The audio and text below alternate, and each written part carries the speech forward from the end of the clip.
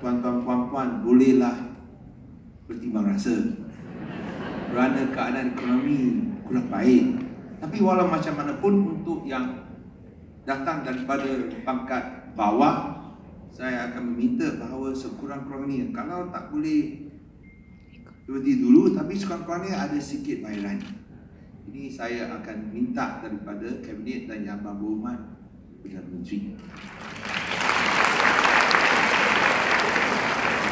Jangan harap banyak-banyak lah. Tapi sekurang-kurangnya untuk yang daripada uh, golongan bawah kita akan usaha kerana ini raya lah, raya mesti ada sesuatu lah.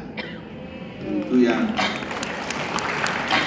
itu yang uh, uh, saya saya rasa kita akan cadangkan. Tapi jumlahnya akan diumumkan oleh Yang Maha Berhormat Perdana Menteri. Jangan tanya saya itu yang ketiga,